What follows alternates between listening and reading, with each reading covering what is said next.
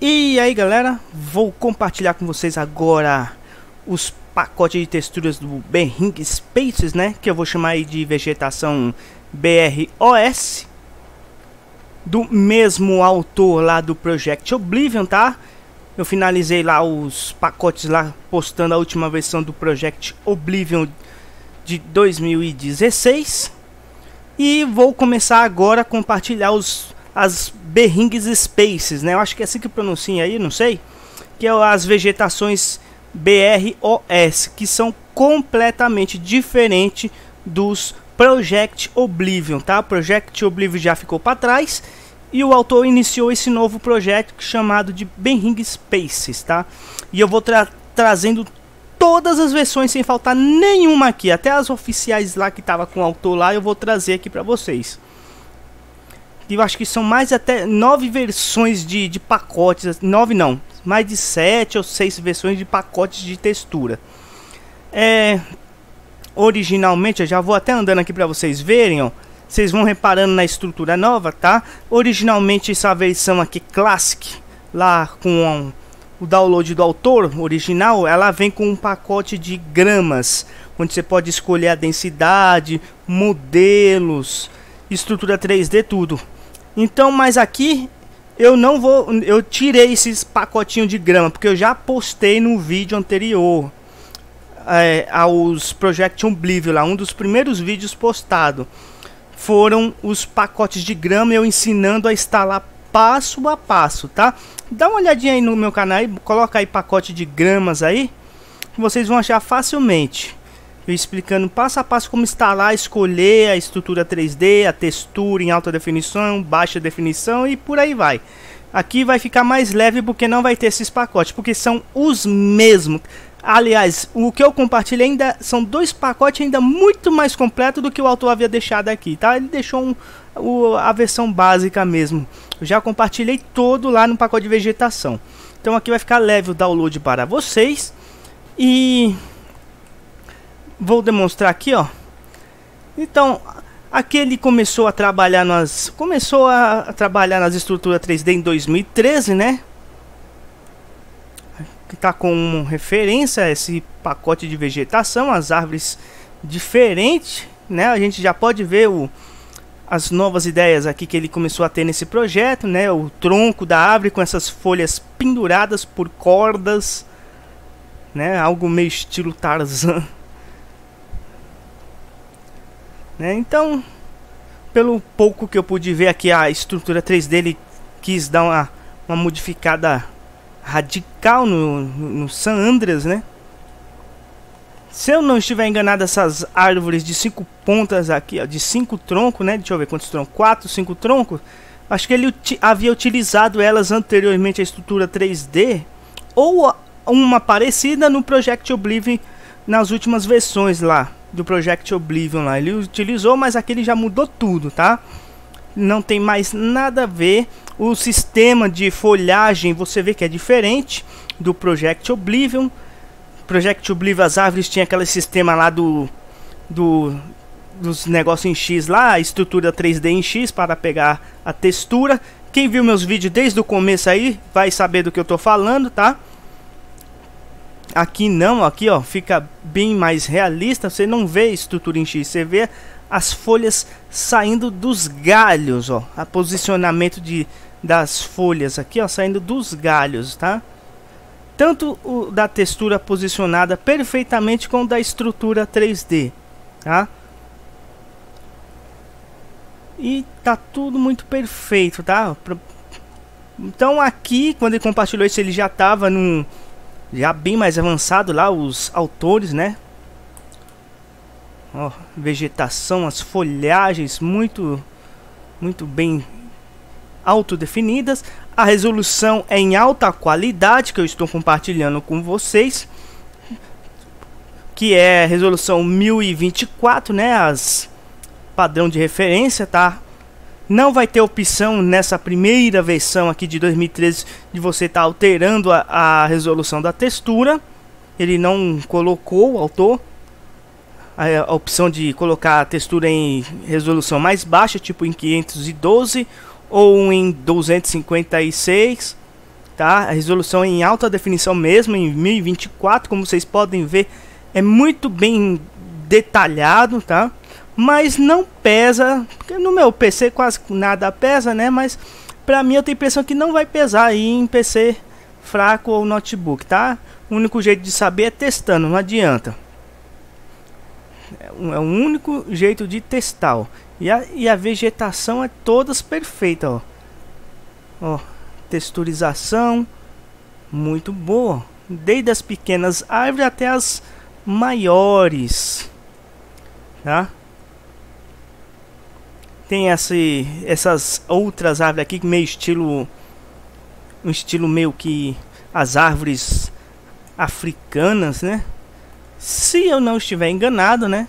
Mas algumas pessoas na época lá se comandavam com isso aqui. Ele acabou modificando essas árvores nos projetos mais para frente aí, ó. Mas eu não vejo nada de que incomode não, né? Tudo que for novo, tudo que for novo para GTA Sanders aí é tudo bem-vindo, né?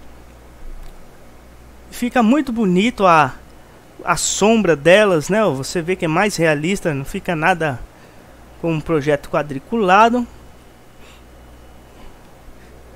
Totalmente diferente, tá? Aqui os pinheiros também novos, ó.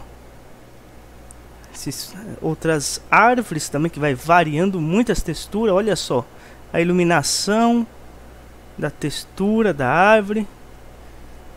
Né? Isso porque, por causa do Series DirectX 2.0 que deixa assim muito bonito. Até porque se eu desativar o Univiseries, olha aí, você não, não vai perceber muita coisa não, vai ficar tudo assim. Você não vê os detalhes, né? Parece que ele já fez o pack de vegetação pensando no futuro, já prevendo como seria assim com os novos gráficos. Eu acho que ele já fez pensando nisso, porque ele bateu certeiro, né? Com os, os novos gráficos aqui agora, né? que nós estamos trazendo aí em pleno 2019 e futuramente aí vamos ver aí o, o que, que o, os autores do, desses NB séries aí, tanto o MMG3 quanto o, o DirectX vão trazer de novidade também, né? Então aqui ó, os arbustos também novos, ó, os pequenininhos, desde os pequenininhos arbustos, ó, todos em alta definição, a qualidade de, de, da textura é muito alta mesmo, hein? muito alta mesmo, né? Muito alta mesmo. Olha, folha, olha as folhagens, né? Já ele começou a fazer uns trabalhos muito perfeitos, ó.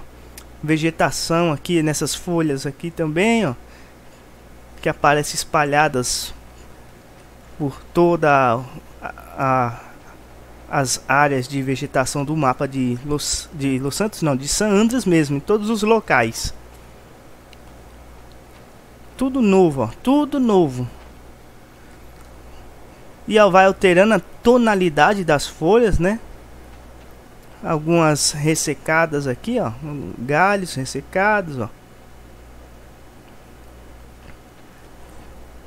Com dois, dois tipos de vegetação. Esse daqui é só textura, né? Não tá tão assim, não deu uma atenção, né? Talvez ser pelo primeiro projeto, né? Esse, mas já dá para enganar também, né? Esse e esse outro aqui não foi dado uma atenção bem caprichosa igual os arbustos ali, ó. Tá? Aqui só tá texturização.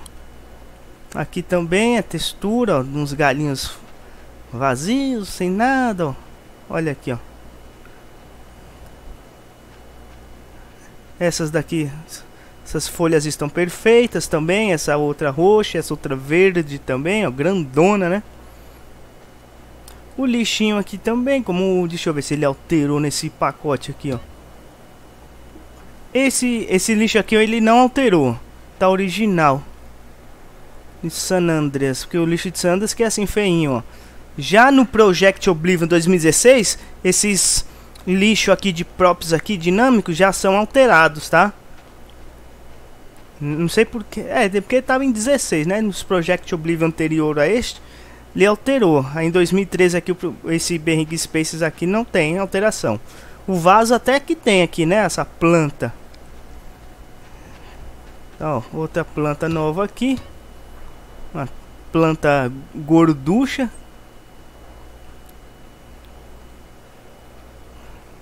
Tá bem legalzinho, ó. Outra aqui. Outro vaso muito bonito aqui. Mais outro. Outro modelo diferente do vaso, ó. Olha que realista.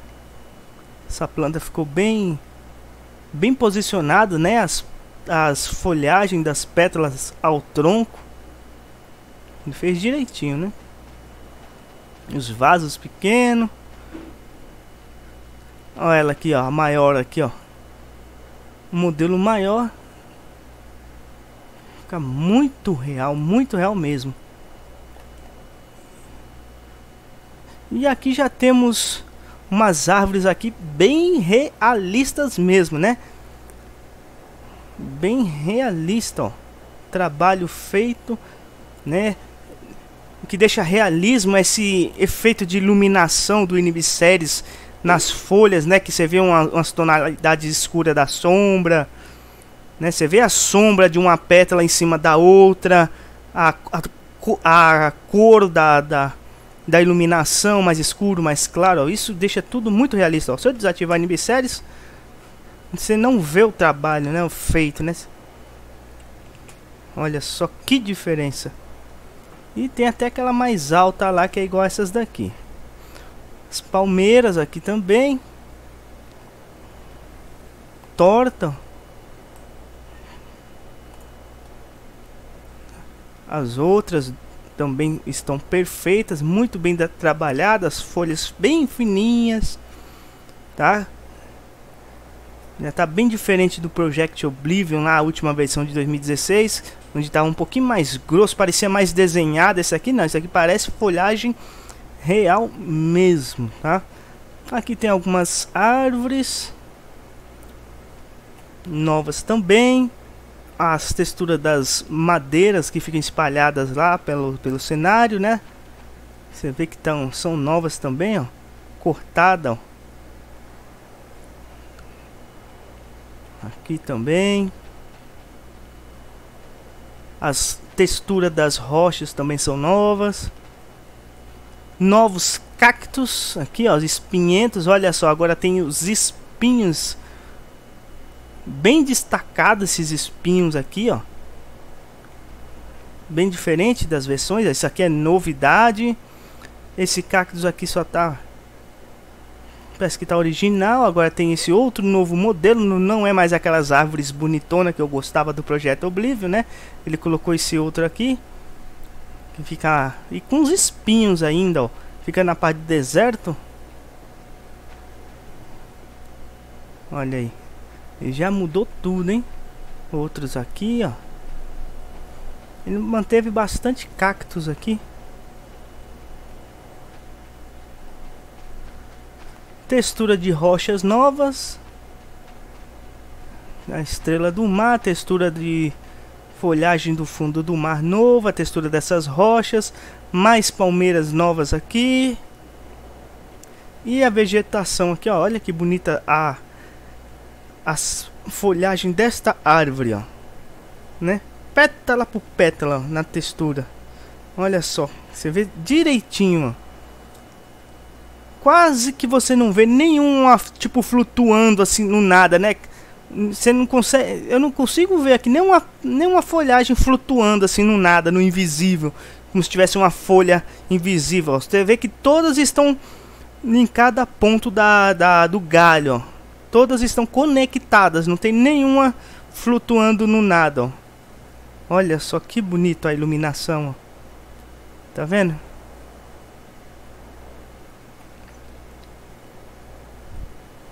Essa outra também, ó, a iluminação ficou muito bonito nelas, ó. É outro nível. Você tem que tem que deixar tem que deixar o o GTA seguindo, né, aumenta os níveis de pessoal testando aí novas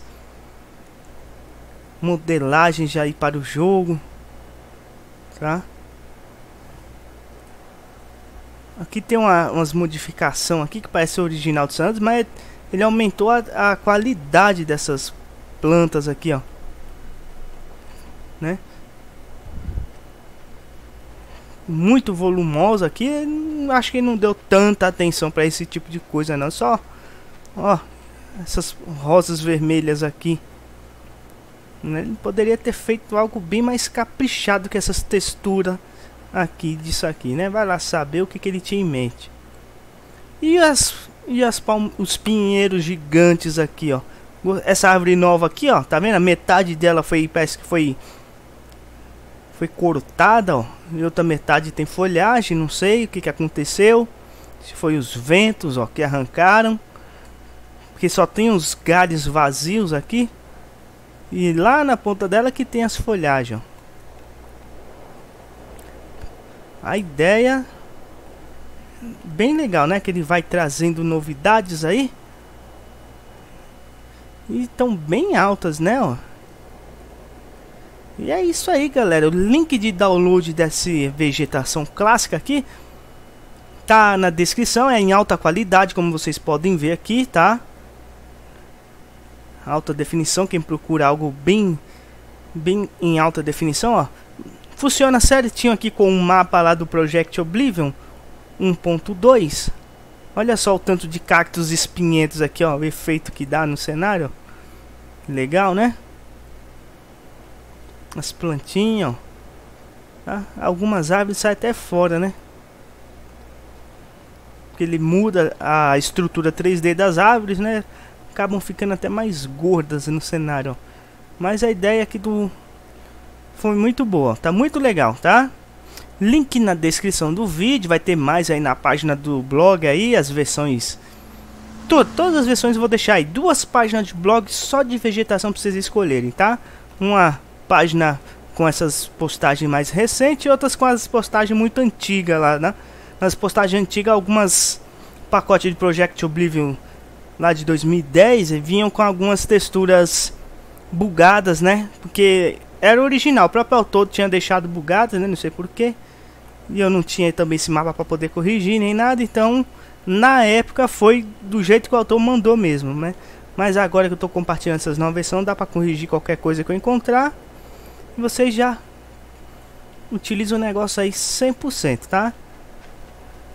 Mas as versões antigas de 2010 são muito complexas, coloridas, muito também muito bem trabalhadas e bem feitas também, tá?